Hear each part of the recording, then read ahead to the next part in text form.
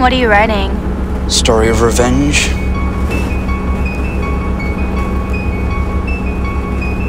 Am I in it? Cafeteria would be the place. Two Colt 45s would be the tools. Captain of the hockey team would be the first target. If you go near my girlfriend again, I'll kill you. It would be methodical. It would be unemotional. I was angry. I wrote things down. Stupid, but not dangerous. Can you believe this? You wanted to stand out, Sean, so now you do. How's it feel? Welcome to the human fish tank.